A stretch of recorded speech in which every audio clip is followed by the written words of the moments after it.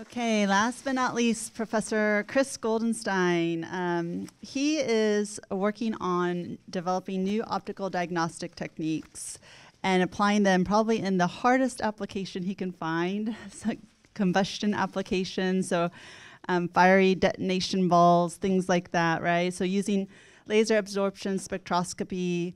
Um, his group has um, developed new diagnostic techniques for mid infrared planar laser induced fluorescence imaging.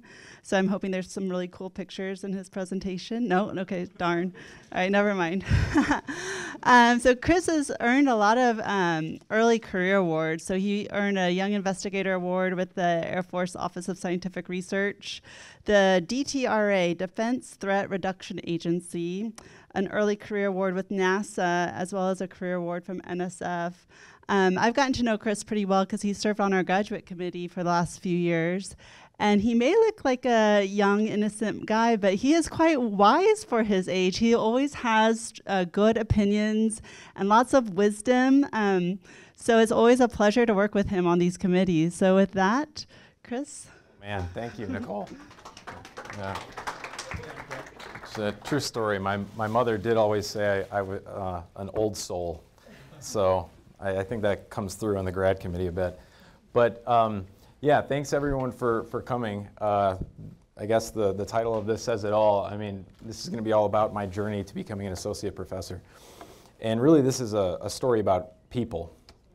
And uh, it started in uh, basically the suburbs of Chicago. I was born and raised in uh, Downers Grove. I went to Downers Grove South. It's a big public school there, amongst many in the Chicagoland area.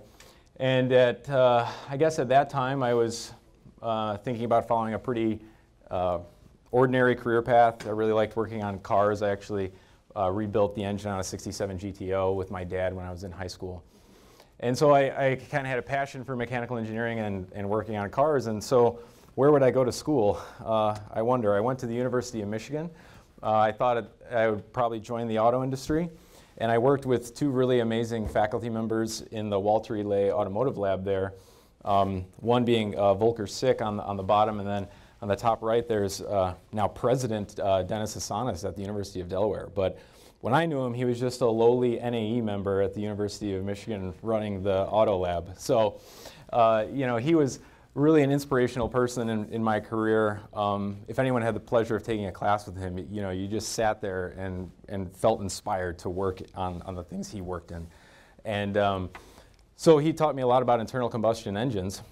And uh, so did Volker Sick. And, and uh, I guess Volker Sick might have had the bigger impact on me in particular because he taught me about laser diagnostics um, and how you can use beams of light to, to visualize molecules in turbulent flows and reacting flows. And um, uh, that kind of set me on a path to go work for uh, Ron Hanson at Stanford University. Um, so I did my PhD with, with Ron, and I actually learned and worked on a, a different type of laser spectroscopy, but laser-induced fluorescence has kind of always been my, my original passion, I guess. Um, but I, I, worked with Ron. I was there for five years with my PhD, and then an extra year uh, as a postdoc. And he's kind of always been a, a guiding force. Uh, this really strong voice in the back of my mind. If he ever watches this, he'll he'll probably uh, get a kick out of it. But um, just a, a, really amazing mentor. Um, and uh, when I was there, he gave me the opportunity to work on a lot of different things and a, a lot of different projects, which was which was great. Um, and you know, by doing that, I got to write a lot of uh, papers and, and even uh, get started on my path to being becoming a true academic to, by writing a book. So I, I got to co-author a textbook with him before I graduated. But I think one of the, the most unique things about what I did there uh, was I actually started a company with four, uh, three other fellow lab mates uh, called SpectraPlot. And uh, that company is focused on doing exactly what its name says. we actually built a, a web app for simulating molecular and atomic spectra in the cloud and I'll talk more about that um, in just a few moments. Um, but basically, I, you know, I was there, and that by that point, I was basically knew I, I, wanted to become a professor, and so I hit the job market, and I, I landed here at Purdue. Um, probably no, no mistake. I, I, two of my faculty mentors, uh, Bob Lucht and Steve Son, are, are fairly close colleagues with uh, Professor Hanson, and uh, they've really helped me get my start here at, at Purdue, and um, I guess the, the rest is, is history. But the, this brings me to my, my next point, which is the first key to success for all the young people is surround yourself with great mentors and, and peers. Um, I didn't have the opportunity to talk about many of the peers, but um, they played just as big a role in my career path as, as the people I'm showing pictures of here uh, today. Okay, so then here's that, I guess all that led to this, right? Uh, that's why uh, uh, part of what I love about my job is the fact that I get to work with all these, these great students and, um, and, and get to help them achieve the goals that um, I, I achieved and so fondly look back on. Um, so this is my, a picture of my group. It's fairly current. Uh, there's about 12 PhD students in it. Um, and uh, we're all, all basically shooting lasers at some kind of reacting, reacting flow. Okay, so that brings me to this point, which is what do we, exactly do we do here? Um, so we're always trying to advance the thermosciences. Uh, I think we tend to, we work on a lot of applications, but we're often very interested in fundamental aspects of those applications. So I say we try to advance the thermosciences, but in doing so, we also try to advance energy, propulsion, and, and defense applications. And in everything we do, we're using laser or optical diagnostics. So this is kind of a, a, a CAD rendering and, and, photo of some of the lasers we use. We use some lasers that are as big as an optical table that produce femtosecond pulses. Uh, we use other lasers that can fit in the palm of your hand, the, you know, basically semiconductor uh, lasers like diode lasers and quantum cascade lasers. And we've really tried to develop fundamentally new methods of measuring um, gas properties and, and, maybe even liquids um, through detecting uh, light matter interactions.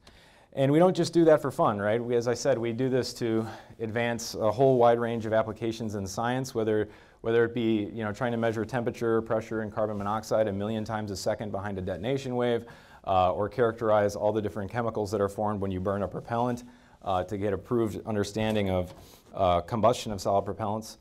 Um, or to characterize essentially the thermochemical evolution of post-detonation fireballs to, for example, understand uh, the radiation that's coming out of these. Uh, that's obviously a, a, hot topic for a variety of defense applications. Uh, you can't understand the radiation coming out if you don't understand the thermodynamic state of the fluid.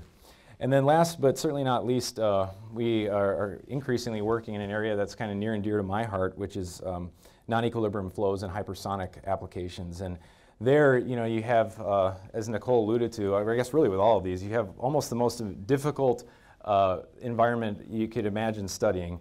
Uh, you, you, might have gases at temperatures that well exceed that of the surface of the sun, say 10,000 Kelvin. And basically everything falls apart, everything reacts. Uh, and we have to try and quantify that chemistry that's occurring behind, say, really strong uh, shock waves. And then as that super high temperature gas flows onto, say, a, a heat shield material. And uh, that's the focus of, of one project that we're working on for NASA right now, uh, motivated by the Dragonfly mission to Titan. Uh, it all rides on the heat shield, right? If anyone's seen Apollo 13, they know the heat shield is, is key to any space mission, right? And NASA is going uh, to Titan uh, because it's just a, a really am amazing um, place in the solar system to, to try and understand about the origins of life and et cetera. But uh, that, that atmosphere is a lot different than our own. It's uh, about 95% nitrogen and 5% methane. And when you enter that atmosphere at, say, Mach 10 or 20, uh, that, uh, there's a shock wave out in front of that vehicle that then shock heats the gas and actually produces a lot of CN. And CN then radiates like crazy. So it's actually the dominant source of heat transfer to the heat shield. And so what we're doing is um, doing experiments in my shock tube to try and understand uh, basically the, the, thermochemical path that CN takes uh, as it uh, basically is born uh, right behind the shock wave and then dumped into a bunch of different quantum states. And so we're measuring uh, six internal temperatures of CN uh, that are related to its population in different rotational and vibrational states uh, in its ground electronic state. And so it's not just one temperature, we're measuring six that belong to one molecule. So it's a really unique um, problem that has uh, been responsible for me losing a lot of sleep over the last year, as Vishnu could probably tell you. Um, but super, super interesting to, to try and uh, to see this, develop new tools that enable us to see this, and then try and understand why this is happening. Um, I won't get into it much more because it's I don't have time, um, but it's a, a really interesting uh, non-equilibrium problem. Okay, so uh, the future's in the cloud. I think we all we all know this, and now ChatGPT can solve any problem that we can dream of, right? By just asking it a question, right? Um, but so in 2014, uh, myself and three fellow lab mates we're sitting around thinking that we should put spectroscopy in the cloud, right? Spectroscopy is a really, really confusing field. Um, it's just riddled with different conventions and no one really properly explains which one they use and which units they're using. So we wanted to kind of bring down that barrier um, and develop a web app uh, that could simulate atomic and molecular spectra um, by just uh, knowing, say, the temperature, or the pressure, or the composition of the gas you're interested in.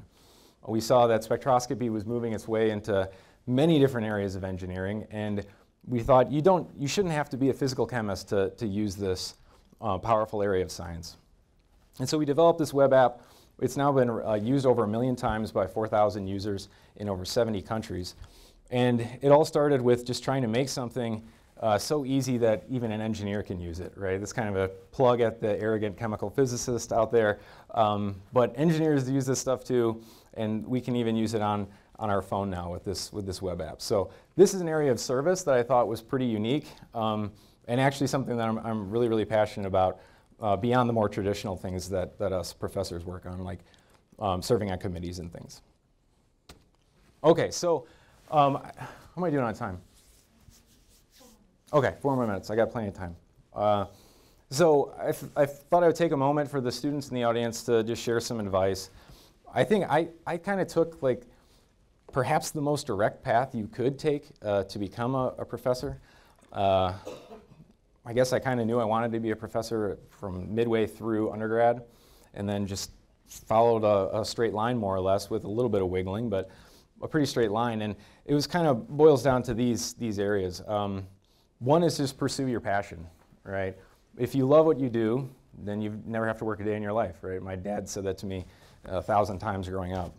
But um, being an academic, you get to choose, especially if you have tenure, uh, what you want, what you get to work on, right? And so another one of my mentors said, if you're a professor and you don't like what you do, it's your fault, right? Which I find to be pretty true at this point. Uh, and, and what that means is that you should really be pursuing your passion, right? Work on the things that you're most interested in and, and do so in a way that you can make a contribution and, and have impact. Um, the second one is one I, I already alluded to, um, but it's you really got to surround yourself with great, great mentors. Uh, if you're able to do that, it makes everything uh, easier. Uh, I guess then the question is, what makes a mentor great, right? Well, there's no one right answer, but uh, in my opinion, it's find people that inspire you. I think that's why I became a professor. Is I, I uh, got to interact with so many professors that inspired me to become one, um, and then also those that support you because you're going to need support.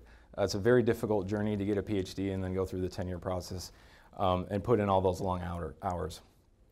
And then last, you really need someone that's going to push you.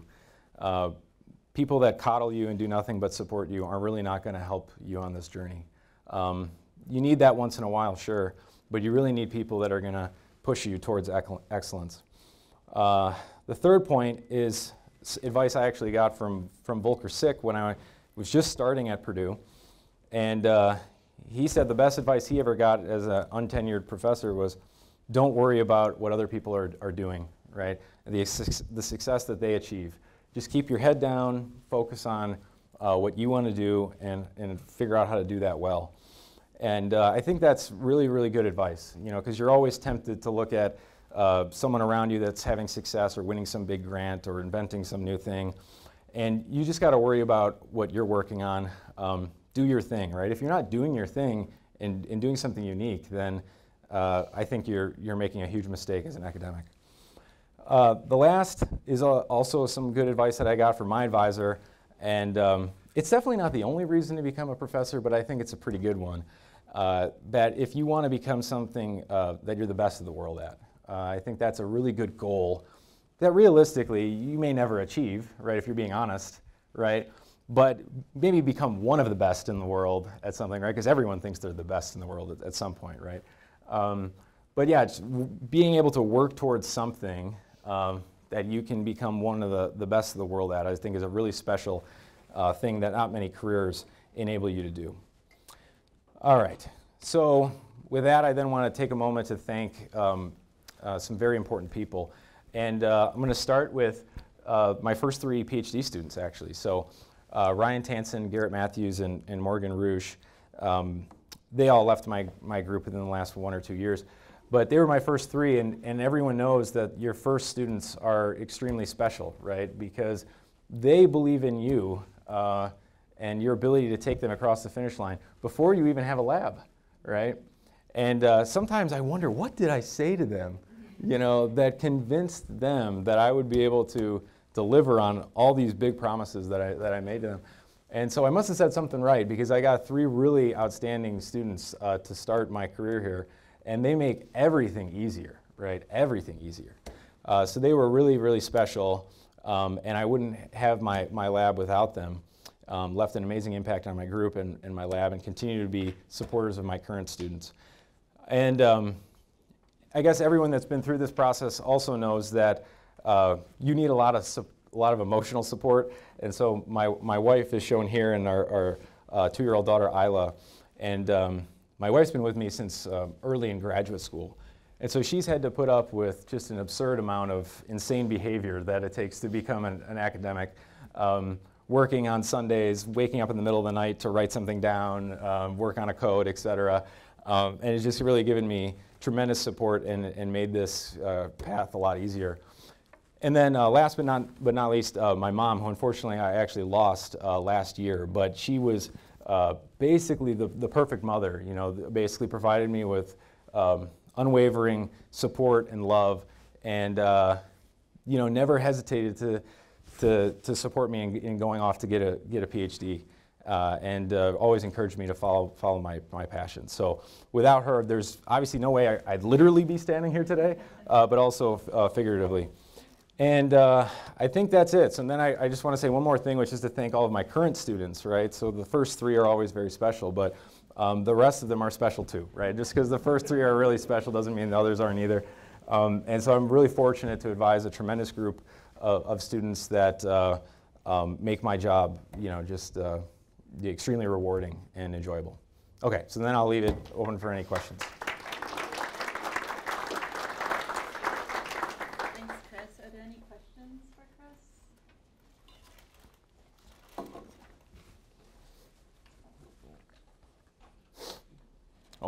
one of my current students. as your fourth student, I have seen. I don't think your mic's on. Oh. as a fourth student, I have seen your group like triple in size in the last four years. Yeah. How do you best manage that part of the job, like the, the rapid growth and acceleration? Uh, I don't know.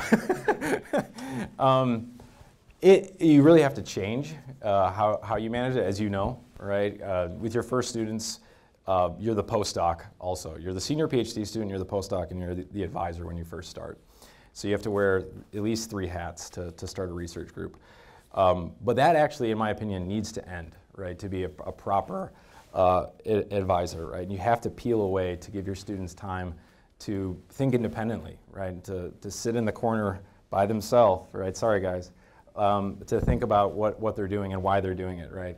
So in a way, uh, scaling has, has forced me to do that in some capacity, and that's really the only, the only answer, right? You can't, you, if you have 12 students, you can't mentor them the same way you mentor two, but I think it, it's an, a really interesting and essential correction that's unavoidable that's in the mentoring system, um, that you basically change your style and one for the, for the better, I think, on the terms of long-term development of the students uh, to force them to become more independent, independent thinkers. Um, and, and that's kind of what I've done. Uh, but it's definitely a work in progress. It's not easy to do. Other questions? So, thank you for the great talk. Mm -hmm. It was very nice to know how you basically grew into being a professor. That was very nice. Mm. Uh, my question was, is sort of similar to his question on um, it's more about how do you have the time to you know dig deep and you know involve yourself in research when you have a lot more number of students to mentor? Like do you still get the time? Because that's something that i am a little anxious about that mm-hmm. in the future if i become a professor then i'll have to guide it. Maybe i won't have the time to do the research myself. Yeah. Well there's only so many hours in the day right? So as you, when you become a professor, you're asked to do a million things. And so inevitably, you, you are you do not have as much time to, to just focus and think about research as you did when you're a PhD student and a postdoc. And I'll share something that my advisor told me, which is that uh, you're going to look back on your career and think that when you're a, a, basically a PhD student and a postdoc, your life was never simpler, right? Because you got this opportunity to just think about science and, and work on technology, and it's really a special time in your career. The good news is, is you get better at that, so you can do it faster, right? And then if you can do it faster, then you can work on more things while still having 24 hours in a day. But I won't lie, um, you know, you're definitely stretched across more things, and you just have to constantly be kind of evaluating your balance, I think, right? And say, am I happy with how much time I'm spending on things? Am I unhappy? If I'm unhappy, I got to make a correction of some kind. And for me, it's, it's still very important to not lose connection to the, the science and the engineering that's done in my lab. If, if I don't understand how something one of my students has produced works, um, I'm extremely unhappy right? So I still make sure that I at least understand the fundamentals and, and, and the big picture. Um, so I think that's essential for me then moving forward. But I won't pretend uh, to say that I, I know how to run all the equipment in my lab. That's definitely not true. Um, so it just changes a bit, and you just have to find new balance. It's a great question. Yeah, I also had the very same concerns when I was when I was your age. Any other questions? Oh, thanks. Oh. Oh, I went the wrong way. Can you pass it? Thanks for the talk, Chris.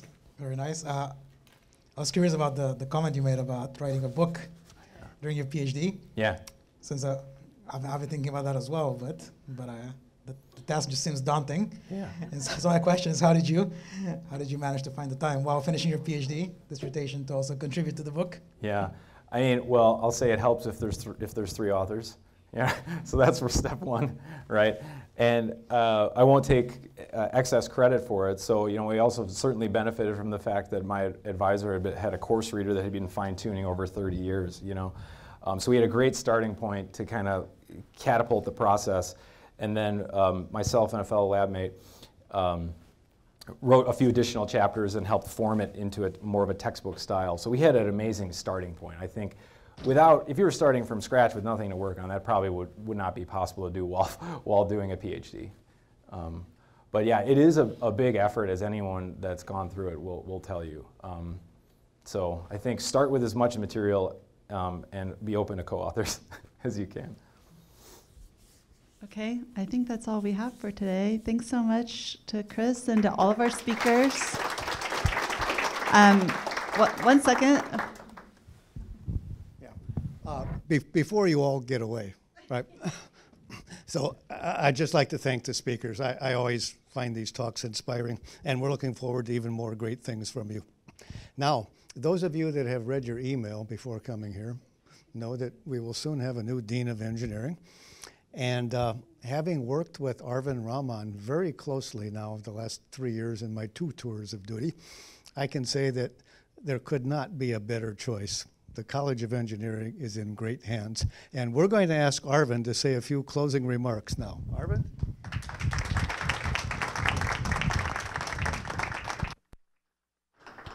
Thank you, Mark. You know, I was just going to say that uh, I'm still associate dean.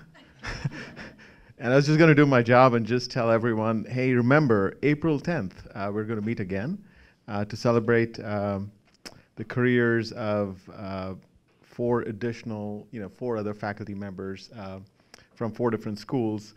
Um, you know, ever since we started this program, I really loved see how this has grown. Uh, so many faculty students join, and you know, you really get to see what makes success and beyond just the papers and, you know, what is it about people's character, uh, about their relationships with others that are essential to success. And um, certainly looking ahead, um, I look forward to seeing a lot more of this happen. And remember, it's a huge college, and we have great faculty and staff, and uh, we'll do a lot more to learn about each other and what makes us tick and succeed. So I look forward to that. Thanks, everyone. Appreciate it.